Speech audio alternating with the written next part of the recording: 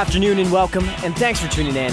I'm Edgar Zelaya, and you are now listening to Travels of a Scriptorium on Urban Nights Radio.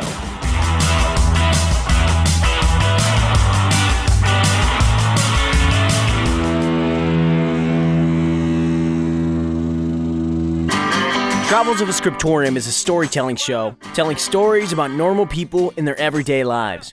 With the use of creative writing and lyrical influence music, I want to connect you with the meaning of a specific word. The word of the day is passion. And here's your top five songs. Now, Cage the Elephant. I was walking down the street when out the corner of my eye I saw a pretty little thing approaching me. She said, I never seen a man who looks so all alone. Could you use a little company? If you pay the right price, Comrades and friends, how untired people have raised up to defend their freedom and independence. Derived from the waveforms, audio frequencies flood your thoughts. Inspiring stories and memories, all written under different circumstance. Sounds are all around us, whether it's a steady tempo and beats, a rhythm or hymn, a silence or scream. An artist leaves himself lost within the music. The words are like parted souls, tones, sounds, all like physical attributes define who we are. Ever wonder how when something is original? I mean, when something is really original, it always becomes a complete different sound. It's because, in a sense, we're all original, not one entity the same, taking different paths on paved ways through an adventure all the same.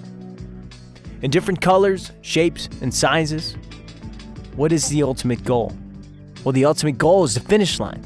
For any one person, it's to be a part of society as a whole, but without a care in the world. And this, it just means to keep moving forward, to keep writing stories, to keep discovering, making, listening, screaming, aging, and finally, well, dying. It's all without a care in the world. The artist is like a child screaming for milk and attention inside of you. Most of us can hear it, but most of us just ignore it.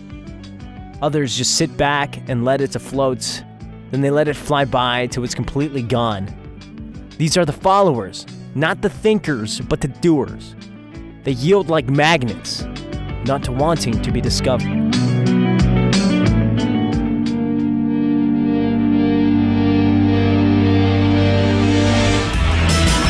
Thank you for listening. This is Urban Nights Radio, and the show is Travels of a Scriptorium. I'm your host, Edgar Zelaya.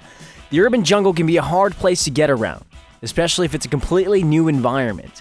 However, to be naturally curious is built into our bodies from the day that we're born. Creating stories and memories that you can recall at any time is the sole purpose, why any one of us even gets up and does things in the morning. With that said, be sure to be aware of your surroundings in your travels, and make sure to keep record in whatever way or form you choose to remember all of the things that will change you throughout the way. Thank you for tuning in. This is Urban Nights Radio.